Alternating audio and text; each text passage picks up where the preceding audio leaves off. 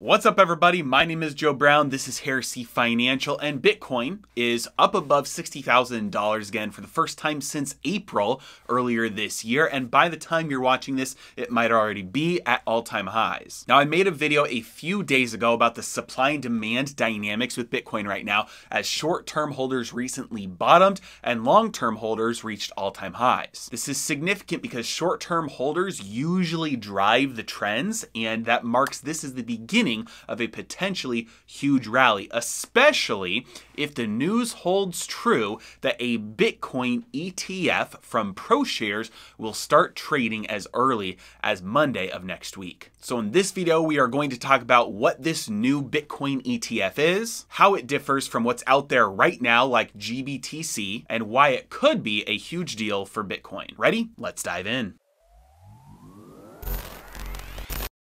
Gary Gensler is the chairman of the SEC and he is extremely pro Bitcoin, at least when you measure him versus other regulators. For a while now, that has given many Bitcoin investors a lot of hope that under his watch, a Bitcoin ETF would be approved. And it looks like that wish is finally coming true as on Friday, it was announced that a new ETF from ProShares, symbol BITO, will be listed on Monday and could start trading as soon as within a few few days after that. Now, something to make note of is that this may happen without explicit approval by the SEC of a Bitcoin ETF like this ProShares one. But as long as the SEC doesn't come in last minute and stop it from being listed or trading, the implicit approval is there. Now this is leaving many people wondering, what is the big deal? I can buy Bitcoin myself directly through an exchange like Coinbase. Now you know me, I don't like Coinbase. I use Swan Bitcoin, which I've linked in the description below, and if you use my link, you get $10 worth of Bitcoin as a sign-up bonus. Many people are also saying that this new ETF opens up the door for retirement money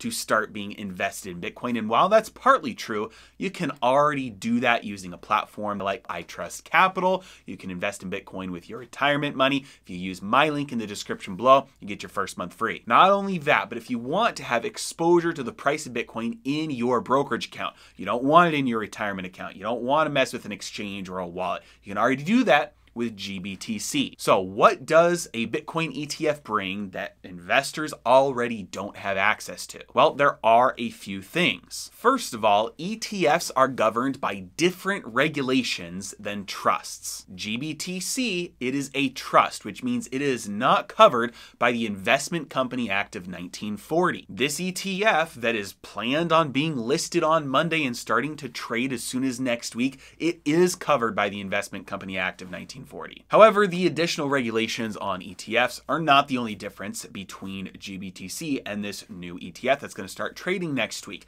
GBTC owns actual Bitcoin. This new ETF will not. It will invest in Bitcoin futures. Owning the actual Bitcoin means they have to spend a decent amount of money on figuring out a way to securely store that Bitcoin. Whereas this ETF will have the advantage of not having to care about that because they're just investing in the futures. This also means that investing in this new ETF means investors are buying a derivative of a derivative. And if options ever start trading on this ETF, that's like derivative inception, three layers deep. Another difference is that shares shares of the ETF are constantly either being created or destroyed. The reason for this is so that the price that investors are paying for the shares matches extremely closely the net asset value. Contrast this with something like GBTC, which cannot create or destroy shares at will, means that investors, when they pay to buy the share of GBTC, sometimes they're paying up to 100% more for those shares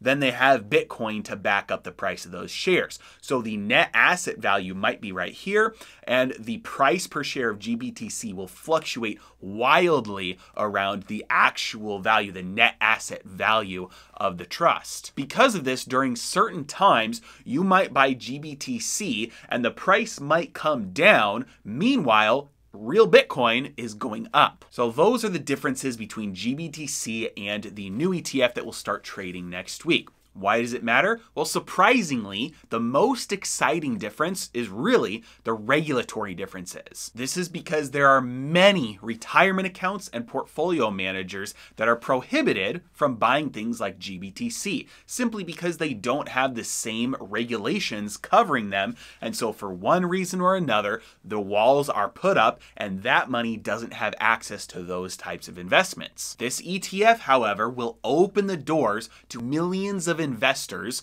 representing literally trillions of dollars to choose if they want to allocate a small percentage of their assets to Bitcoin. Now, a very small percentage of that big potential pool is likely to buy this new ETF, is likely to go into Bitcoin, but a very small percentage of trillions is still a lot of money. Pair this potential new demand with the extremely historically low supply that I covered a few days ago, and we have the setup for a monster rally. But two big points of caution here. So first, point of caution. We've already seen a massive pop in the price of Bitcoin anticipating this news. This indicates to me that we are likely to see a buy the rumor, sell the fact price action take place here over the next couple of days. Very similar to the El Salvador story. The price ran up in anticipation, and as soon as it went into effect in El Salvador, the price of Bitcoin dropped. The algos just shake out the weak hands after the expected pop from the approval doesn't happen happen. Then on the drop, big money buys the dip. Now I do expect that after the dust settles,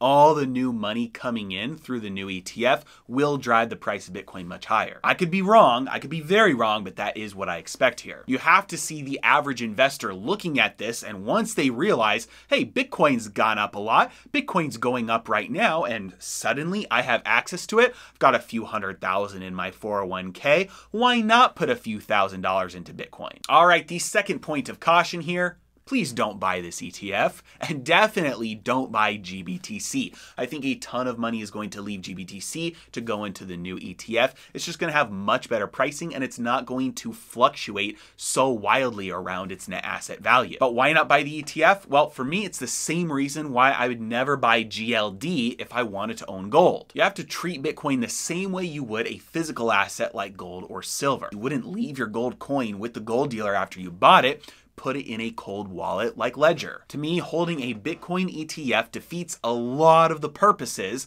of owning an asset like Bitcoin in the first place. The only similarity that you retain there is just exposure to the price performance. Obviously, none of this is advice. Do your own research, make your own decisions, but this does look like very good news for anybody who is interested in seeing the price of Bitcoin go up.